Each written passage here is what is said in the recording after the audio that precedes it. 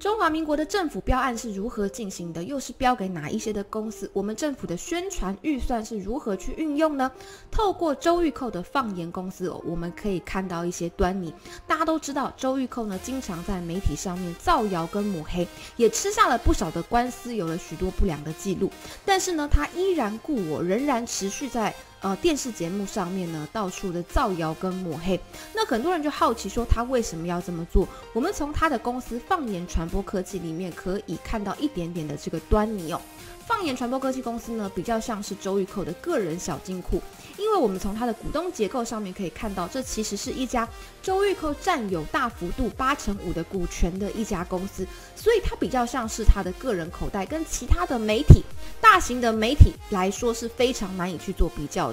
那我们去检视它里面都是谁在下广告给他。其实每年都固定哦，会有包括像中油啊、台电等等的国营事业给他。那这四年来呢，他已经领走政府标案大约一千万左右的这个预算。很多人会说，一千万元也不是什么大的数字啊。但当我们实际这更认真的去检视里面的成效的时候，会发现哦，其实魔鬼藏在细节里面，它的标案。里面的暴力哦，这才是让大家觉得匪夷所思的。我们就举两个案例来说，第一个是内政部营建署的这个案子，他在第二季的时候呢，拿了四十几万的这个预算，里面竟然只做了四篇的新闻稿，而且它的曝光次数非常的少，代表放言这个网站基本上是没什么人在看的。所以呢，我们看到四篇的新闻里面。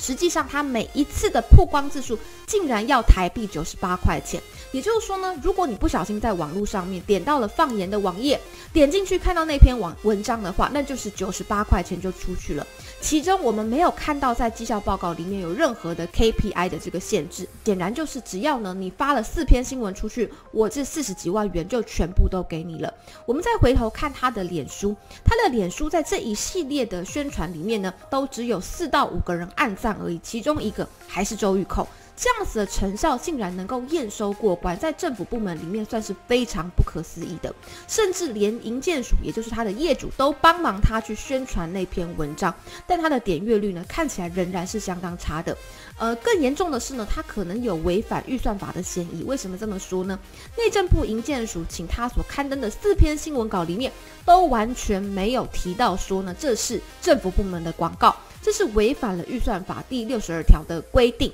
在另外一个案例里面呢，又更深入的去做了一个探讨哦，就是说呢，呃，其实实际上面它有四篇的新闻稿哈都没有投放出去，这是在一个内政部的 EID 新式身份证的案子。那呢，他们就说哦，是因为后来这个案子没有办办法继续进行，所以他原本所做的东西就没有投出去。可是我们从标案上面呢，可以看到一个猫腻，也就是这个标案哦，是从呃。一百零九年的十二月十四号，一路到一百一十年的一月三十一号，这是原本标案所设定的期间。可是呢，新式身份证的案子是在一月二十一号的时候才暂停的。也就是说，在这个标案的走期里面，有八成的时间，周玉蔻的放言公司都可以按照本来的合约内容去执行这个专案，把原本的新闻稿抛出去。但是呢，他完全没有做这件事情，所以。所有的内容就变成是幽灵的。他交了一份结案跟验收的报告